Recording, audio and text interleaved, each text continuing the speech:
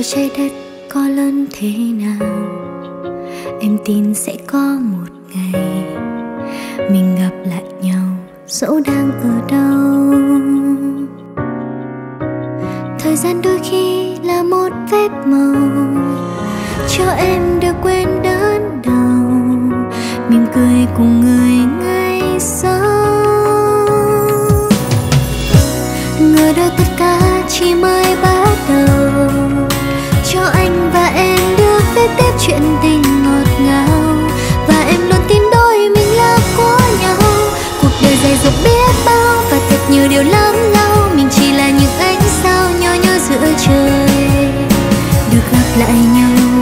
đã rất nhiễm màu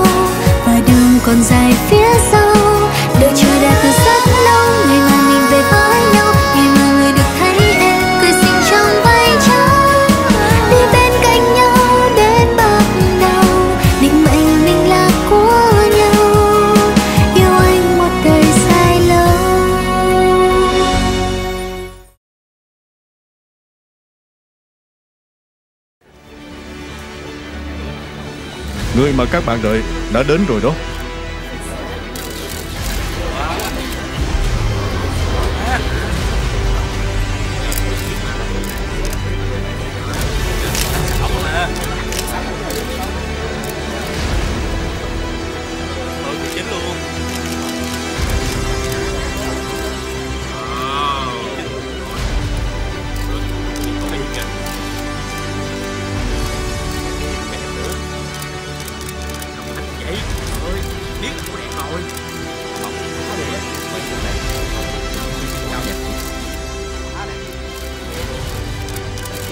Cọc cái đó này nè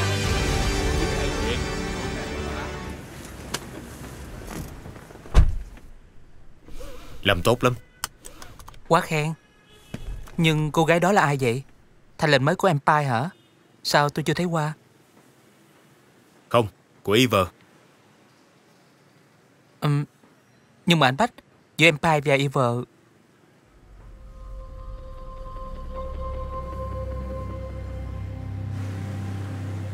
Cô Nhã Đan, đây là lần đầu tiên cô đóng phim có phải không? Thật ra thì ờ, mình đã biết đến công việc này từ vài năm trước rồi. Trong quá trình du học, ngoài giờ học ra tôi có tham gia một số gia quần chúng. Vậy có thể nói Gia Thiên Vân là gia lớn nhất từ trước tới giờ của cô phải không ạ? Với tôi không có gia diện lớn hay nhỏ, mà chỉ có diễn viên lớn hay nhỏ thôi.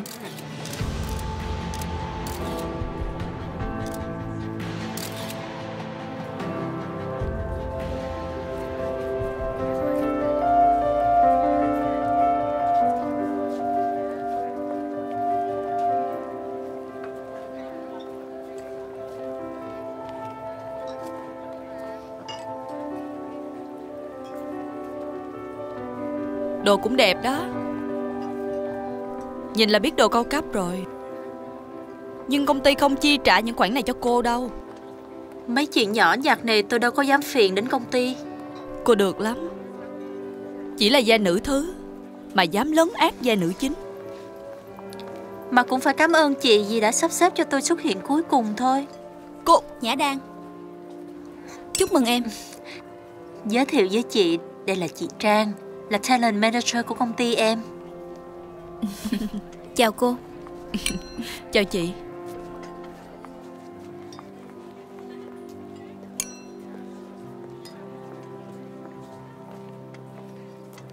Cô gái này rất có tiềm năng. Không hiểu sao bấy lâu nay bên Ever Lại không đẩy cô ấy tiến xa hơn nữa. Một là họ không biết dùng người. Còn thứ hai Có thể là Có uẩn khúc gì đó trong nội bộ? Có thể. Anh.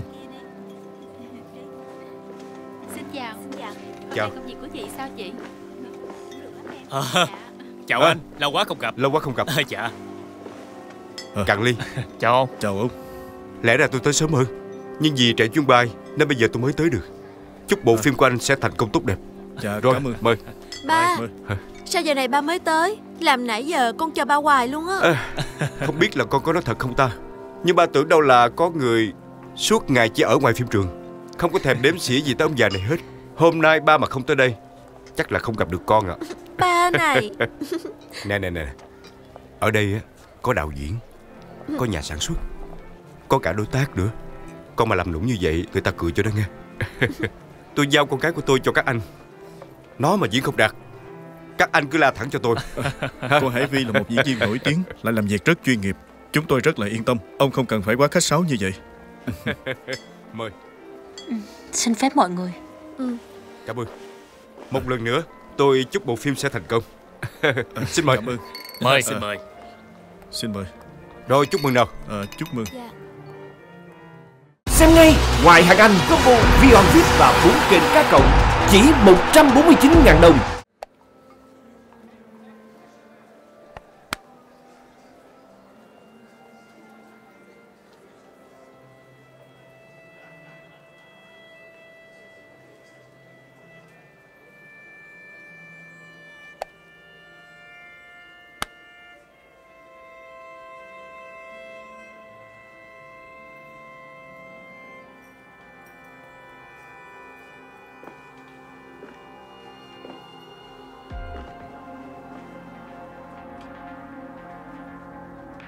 Tao muốn mày rút khỏi vai diễn này. Đừng để tao mất mặt nữa. Vai diễn này con có được bằng thực lực của mình. Ba mất mặt chỗ nào? Tao muốn mày đi du học. Mấy năm qua Vì tao không muốn mọi người nhìn cái gia đình họ Đinh này Có một đứa con gái chữa quan rồi sẽ thôi Chứ không phải là tao cho mày đi du học Để rồi mày quay về đây Mày cạnh tranh với Hải Vi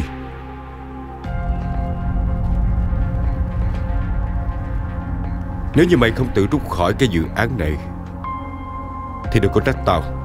Không nghĩ tới tình cha con. Ông mà có tình cha con với tôi Mày- hả? Ba, chị Đan.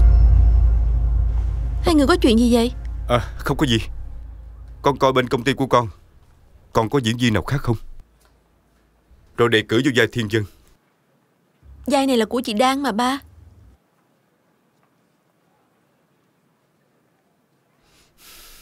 Nó chỉ đóng vai quần chúng thôi. Làm sao mà đảm đương vai này được? Ba đã đổ vô bộ phim này hàng tỷ đồng. Đâu phải là cái chỗ để cho nó vô quậy phá. Nhưng mà chị Đan đã rất là cố gắng. Con không cần phải nói dùm cho nó đâu. Ba đã dặn con biết bao nhiêu lần rồi. Đừng có thương người và tốt bụng như vậy. Có những người Không có xứng đáng để nhận được điều đó. Ba dù gì thì Chị Đan cũng là con ruột của ba. Con im đi. Ba chỉ có một mình con là con gái thôi. Ba đang hối hận khi dẫn nó về Bây giờ ba có việc rồi. Nếu như con còn thương người, Thì con khuyên nó đừng có ương bướng nữa.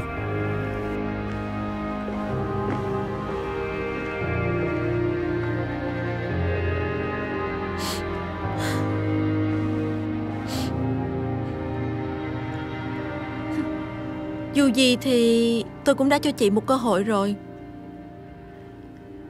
Là do chị không biết giữ. Đừng có trách tôi nha.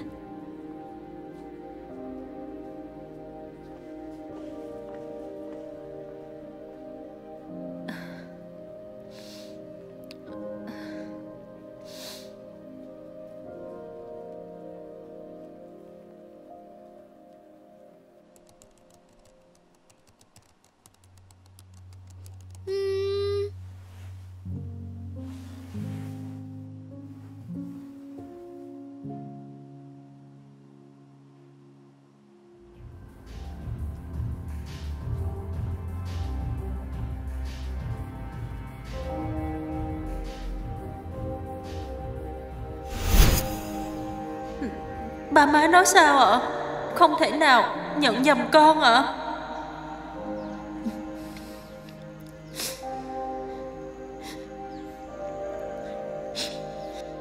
Phải. Là do sự nhầm lẫn trong bệnh viện lúc đó.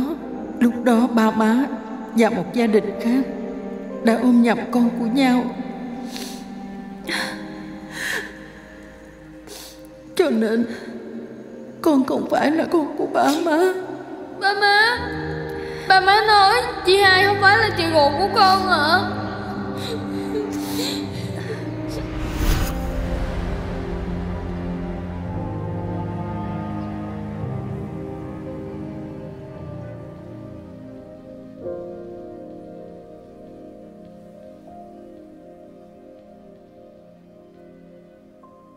Dạ.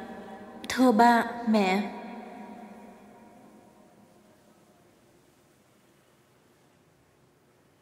Gia đình này là gia đình có tiếng tâm Có địa vị trong xã hội.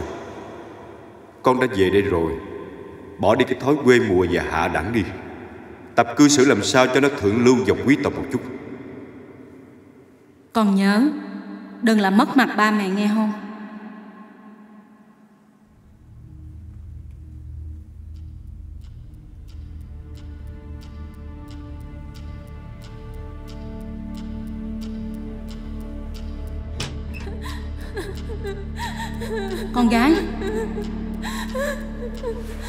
chuyện gì vậy con? Nói mẹ nghe coi. Mẹ ơi mẹ Con không muốn rời xa ba mẹ đâu. Con thương ba mẹ nhiều nhất trên đời này. Mẹ đừng có bỏ con nha mẹ. Mẹ biết mà.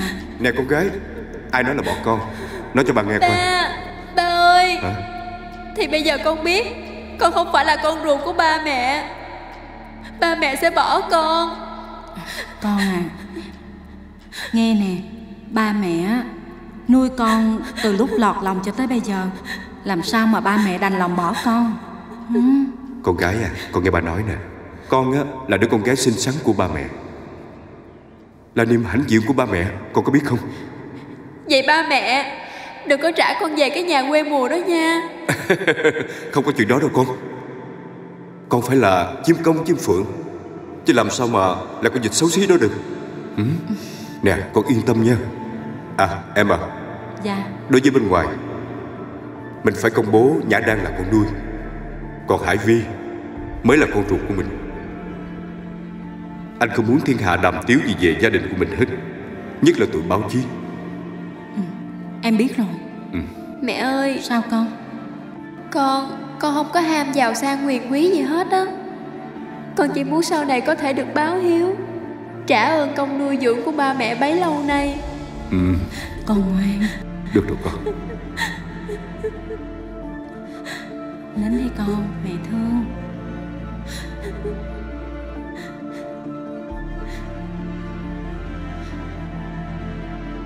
Con sẽ coi chị Nhã Đan giống như là chị ruột của con vậy đó.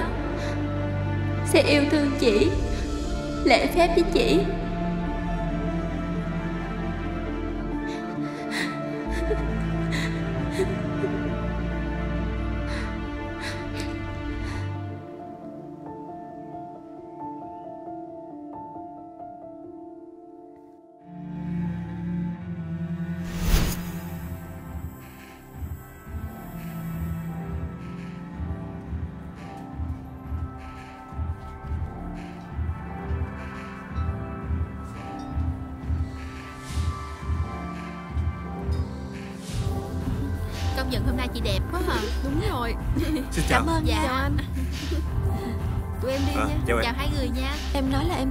được mà.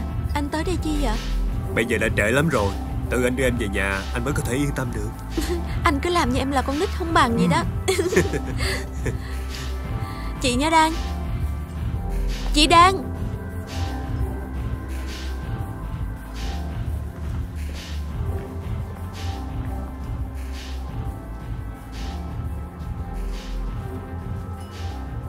Lâu rồi không gặp. Nhìn em khác quá. Em khỏe không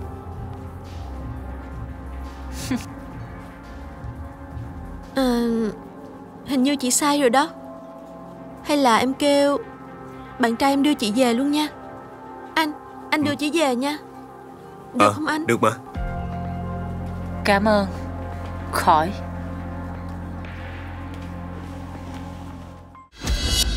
Đón xem Bếp vui bùng vị lúc 20 giờ thứ năm hàng tuần chỉ có trên HTV2 V Channel.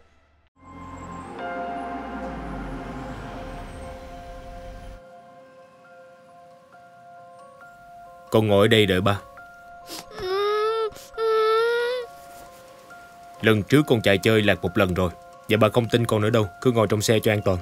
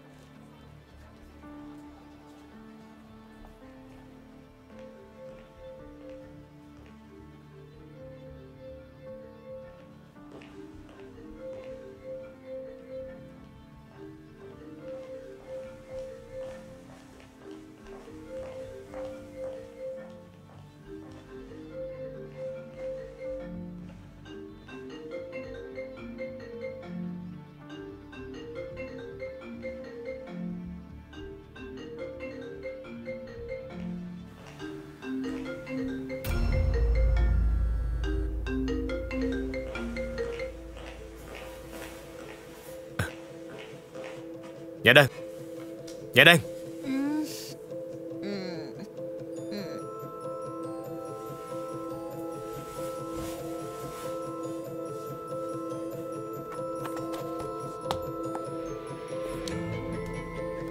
Nhã Đan Tỉnh lại đi. Nhã Đan Ai đó. Gia Bách đây Gia Bách nào Đây là ở trong nhà vệ sinh nữ nha Đừng có mà xạo. Tôi nói thật với cô mà.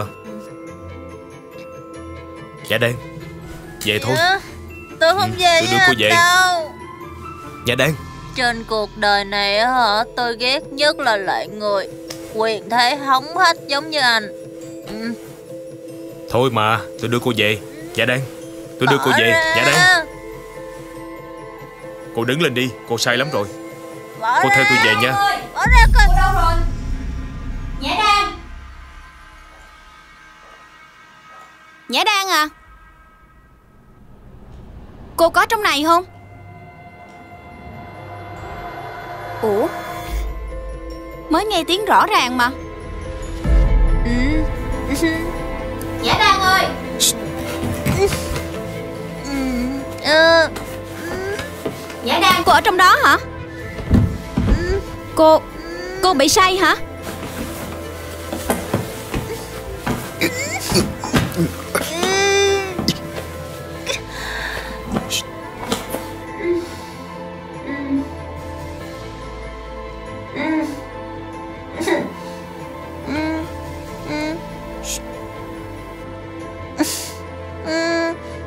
Ngoan đi.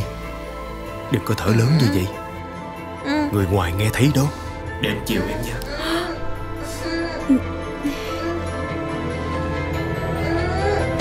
ra à. À. Đứng im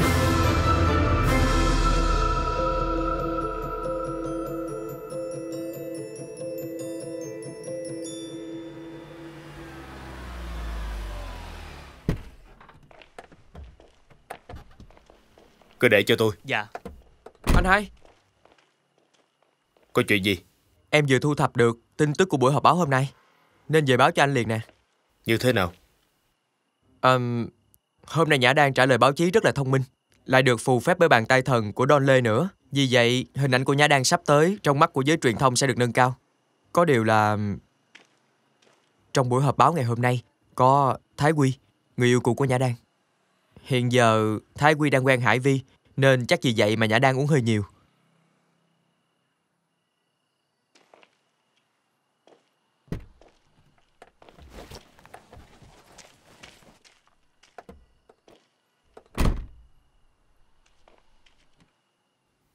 Cô lên phòng ngủ trước đi Để ba lo cho cô đang được rồi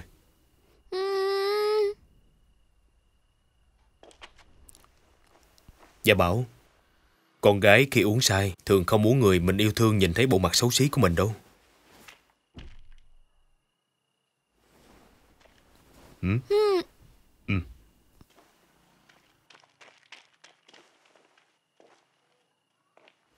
Anh hai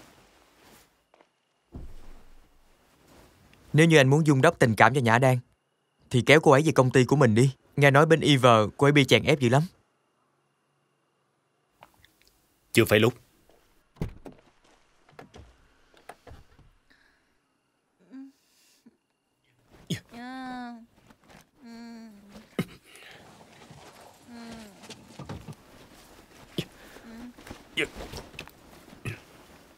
Ờ.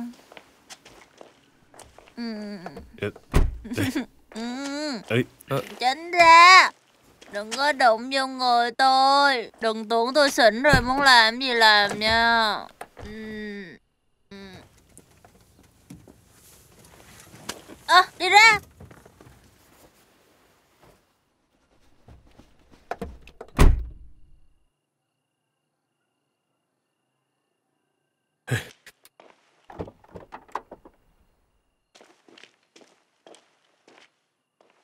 Có cần em giúp gì không? Em vô ngủ trước đi, để anh lo cho cổ. Anh, lo cho cổ? Ờ, ok em hiểu. em vô nha.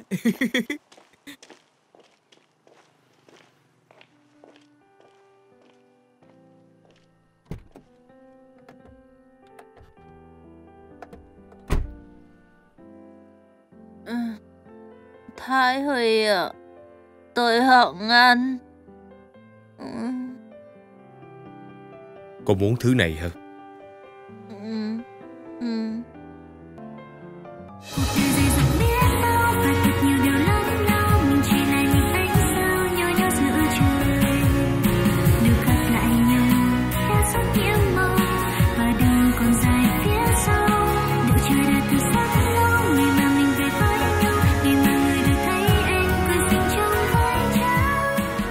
Tại sao công ty Ever rút Nhã đang về không cho tham gia khúc đoàn trường nữa. Anh Vương, chuyện này em cũng khó xử lắm. Nhưng mà ba em đã quyết định rút lại vai của chị Nhã Đan. Cái gì? Chị tìm tôi có việc gì? Chúng tôi đã có quyết định chính thức. Cô không còn đảm nhận Gia Thiên Vân nữa. Tôi đã cố tìm cho chị một vai diễn mới Trong phim này đó. Vai diễn của cô tôi đã tô đậm rồi đó. Tới 8 phân đoạn đó. Có thoại. Nữa Cố gắng nha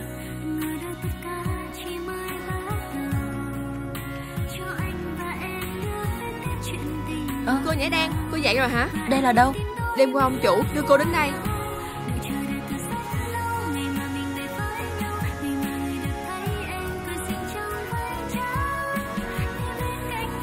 Có chuyện gì Em gặp cái này nên buộc hợp đồng chia vợ và rút khỏi ngành giải trí